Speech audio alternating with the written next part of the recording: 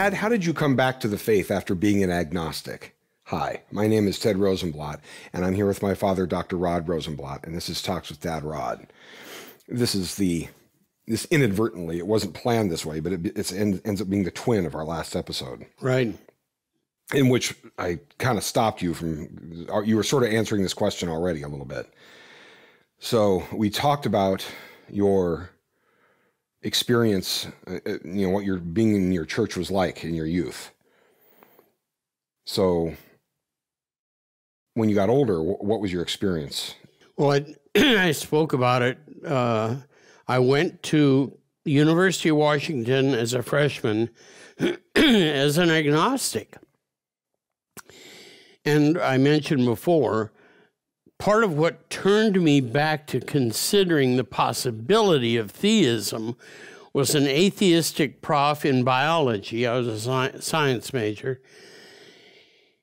And tracing uh, the evolutionary theory, link by link by link by link. And I started to realize some of those links were imaginary or best guesses. Which and, links? Pardon? Which which links are you talking about? The evolutionary links okay, so made it work. The atheistic case. Yeah. The the links being made in the atheistic case. Right. Okay. And uh, so that was the first jarring I got as a, as an agnostic, sort of furrowing my brow and saying, I don't think you have an intellectual right to say what you're saying right now. That was the beginning of the break. Later, I was drawn back toward the Christian faith at a Young Life camp. It was called Malibu up in British Columbia.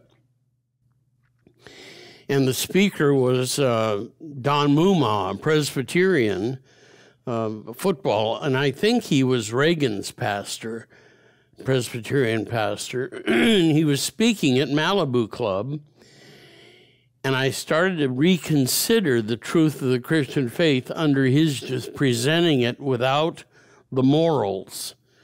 He did the doctrine of sin and how deep it was and went to Christ and what Christ did for us.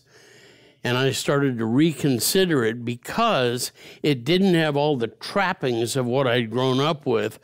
Is the, the Christian message was basic to, basically to transform me to improve me, to make me more Christ like. That wasn't there. And so I just listened and I thought, hmm, maybe I should reconsider this. Now, let me ask you something. And this, I'm thinking, as I'm thinking about this, that this is probably its own episode. So we might end up revisiting it. Do you see an inherent conflict between science and religion in this way? Science and religion? Right. Yeah, I'm always looking for that and looking for people who will defend that they're not. Are they aren't? They aren't. Okay, at each other all the time. Yeah, they aren't in conflict. There isn't. That's what I'm. I'm trying to get at. The is, earliest, the earliest scientists were at the time of the Reformation, and they were in Germany, and they were working with astronomy. They didn't call it it, that back then, but that's what they were working with try to understand the movements of the planets and the stars and to do it with mathematics. Kepler, Tycho Brahe, and others. They were Lutheran believers. So you could sort of see where things were going like a giant clock. Right. Everything moved in a certain order, and so you could plan on certain things. That's what they were cracking, that. And they were all believers. They were all Christian believers, dedicated I've grown up in your house and I've heard it a number of times that there is not an inherent conflict between science and the Christian faith. But that is what our culture seems to have bought in on. Oh, yes. That it is either science or faith. Abs- you can't have both. Absolutely. Absolutely. And I, I wonder how they look at the beginnings of science. I really do. was it just accidental that they were German mathematicians and trying to understand the movement of the planets? Now, were those guys Christians? Yes, to the man. And and think of uh, Copernicus. Copernicus couldn't get anybody to publish his basic work. That is, that the earth rotated around the sun, not vice versa. And Luther, who believed that, said at Wittenberg, We'll publish it. I think it should be published, even though he didn't hold to it. Uh, and I thought, that's interesting. Well, and it's particularly gutsy given it's easy for particular scientific ideas to be held as somewhat heretical, right? In light of the way the church was in, in, uh, interlinked with the government at the time, right? It, it, had a certain amount of power. Yep. And if and if the church leaders leadership defined that as contradictory to something they interpreted from God's word, that was dangerous mojo. Yep. Exactly. Exactly. And I and in a certain sense, thinking about that now, we sort of pride ourselves from going completely 180 degrees in the other direction in a, in a secular culture and patting ourselves on the back on the disconnection from any faith related yeah. to any of those items. And that's yeah. a, that's a separate discussion. We've talked about that sort of along the way. Right. But if we're talking about my my question to you is unavoidably goes towards your what was what was your history as you grew up? What was the thing you were studying?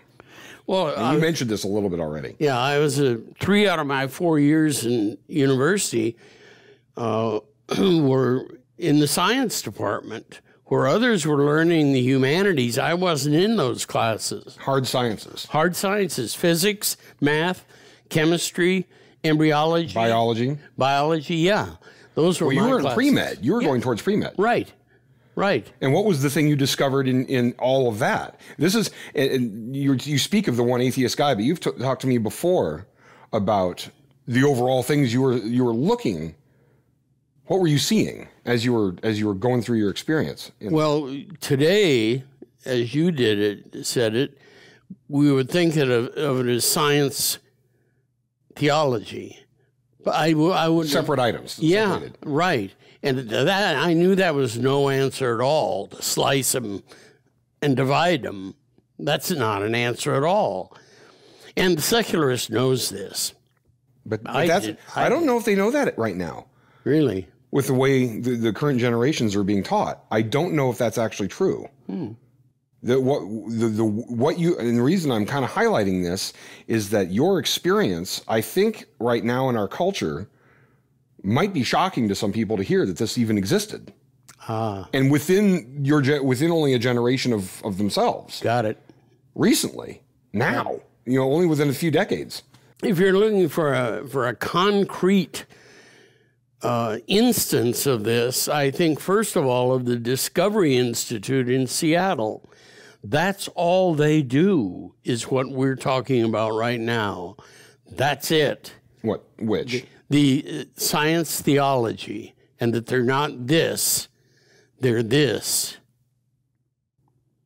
And God bless them for doing it. So, would it be fair to say that it is in in the studies of the hard sciences it it makes sense to see the hand of the creator at play absolutely that it makes sense in the measurements of science. The very beginning guys, the mathematicians and the ones we would call today astronomers, were doing exactly this in the earliest beginnings of Western science.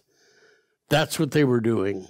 And believing that they were thinking God's thoughts after him. So, do you think there was a connection with that and you becoming an apologist?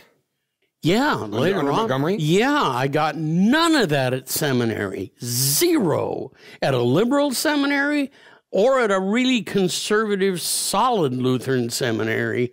Zero in apologetics, except for one particular professor who came in and flew in every week to lecture, and his name was Montgomery. I was at the old Missouri Synod Lutheran Seminary in Springfield, Illinois, Lincoln Town.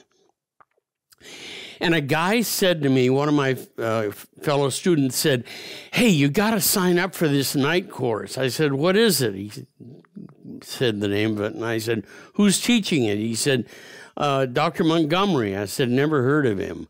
He said, "Well, well, just sign up for the course. This is really good stuff."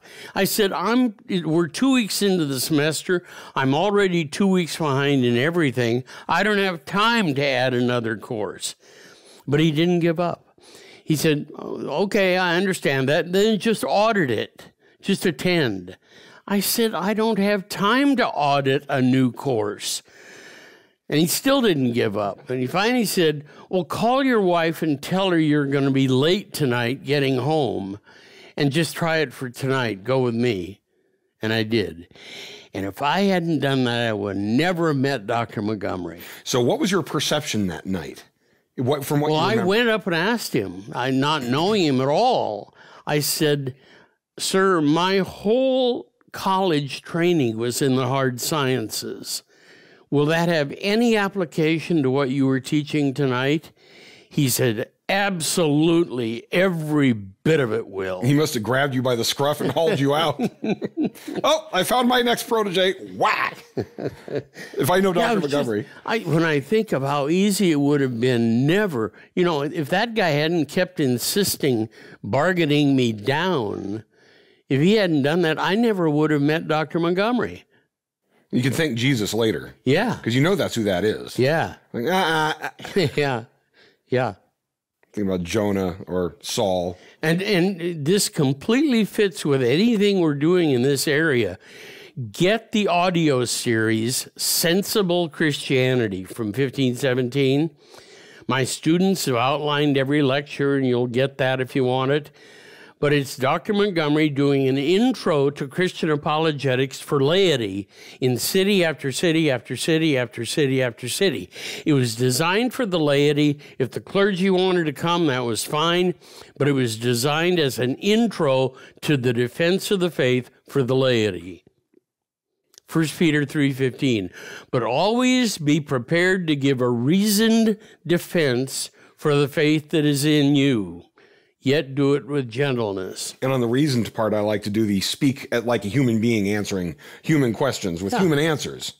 Right. This isn't to be come across like a cultist. It's actually no. it's actually we live in the world and when we consider evidences, this is how we speak of them. Right. On anything in our lives. right If I was to believe any any uh, factual or potentially factual statement by anybody, for them to say, "Well, the, I know," or "I was at this location at this time, and what I saw was," and what I and Right. what I believe is, then that's that's sort of normal. That's what we do. yep completely So reasoned is reasonable yep speaking to one another in a way that makes sense, in line with with, with the way we exactly communicate already. start with that it's an audio only series but we have outlines of every lecture All right, there you go. Two episodes. How Dad gets from agnosticism and works through an atheist, and uh, and works through the sciences and gets to a position of being a Christian apologist. It's a stripped down gas can. We could still get more out of that, but because it's fun, and uh, you can see Dad gets fired up about this one. When we're when we get in the pocket, you can see this sort of thing happens. The energy goes up.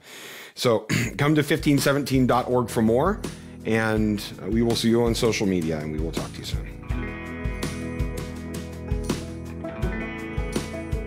Thank you for joining us on Talks with Dad Rod, part of the 1517 Podcast Network.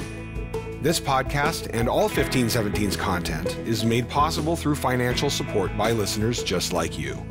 Please visit 1517.org for more, and please consider clicking on the donate button and making a recurring or one time contribution to help us share this good news in a world which so desperately needs it.